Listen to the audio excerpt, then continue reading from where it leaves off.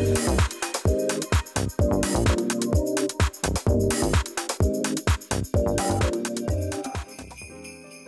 great way to change the feeling of your space during the holidays is to change up your pillow covers. These are my pillow covers for the banquette for spring and summer, but during the winter season, I really love these plaid tones and this color. Love, love, love, love, love. And I was flipping through some catalogs and I loved the pillows that had this beautiful edge on them. I love, it's just so simple, has a zipper, so easy, you just pop it in, and I looked at the price and I was like, oh my goodness, this is crazy. I went downtown and bought all the fabric for the price of one pillow. I know, crazy. I'm gonna show you how easy it is to create your own pillow cover and maybe you can even do it for your bedroom pillows or whatever. But like I said, it's just a fabulous way to change up your space for the holidays. The first thing I'm gonna do is lay out my fabric. Now this is upholstery fabric, so it's 54 inches wide. And it has a fuzzy side and a smooth side. And I've decided to use the smooth side as my outside of my pillow. Now what I like to do to cut pillows like these is I like to fold it over so that you only have to do two cuts. Now what I'll do is I'll match up the pattern here. I'll lay out my pillow. I'm gonna put these weights on the fabric so it doesn't slide around. Now I'm just gonna measure two and a half inches on each side from the base of the pillow out. And I'll just make a mark.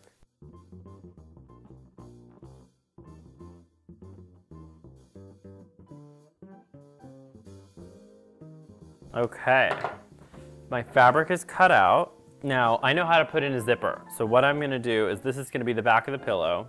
I'm gonna put the zipper a fifth of the way up. I'm gonna fold that down and imagine that's my opening for my zipper. Obviously you need about a quarter of an inch and a quarter of an inch. So make sure that you tribute for that. And then just press that down with your fingers. Make sure you're nice and clean, no folds. Now I'm gonna pin this.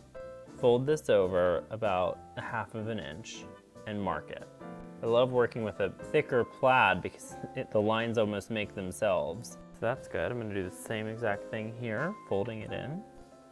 You're giving yourself space for your zipper now that you've got that mark, you're not gonna actually deal with that yet because you're gonna have to sew the sides. So mark your sides with pins. You don't need too many. I'm gonna pin this the same way on this side. We're pinned. Our zipper is spoken for.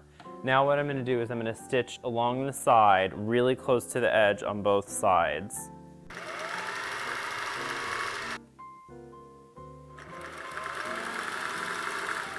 get your corners pressed out.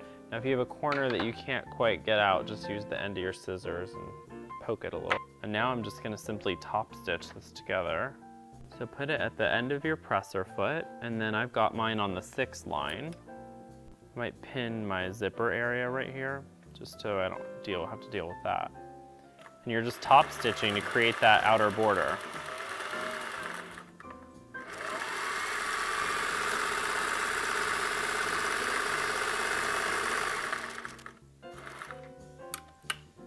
pivot.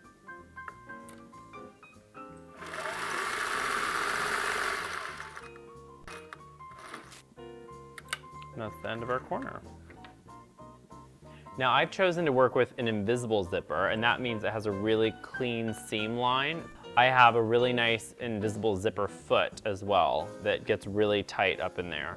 Basically, you're gonna put your zipper on the outside of the pillow and then fold that quarter of an inch that you already marked out for and then just pin that in place.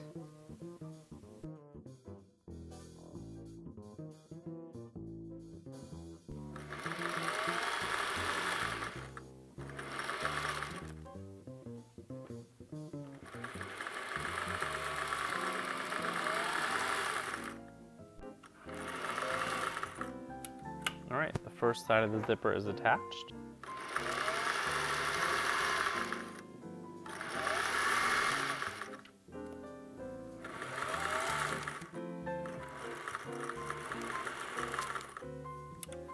The only thing left to do is to mend this hole from putting the zipper in. I'm gonna change the foot back to your standard sewing machine foot, your presser foot.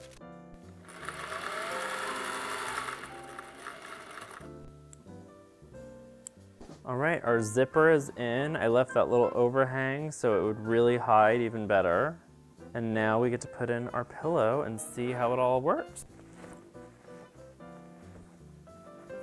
And while it's open, you wanna spread the pillow out and make sure the corners meet up.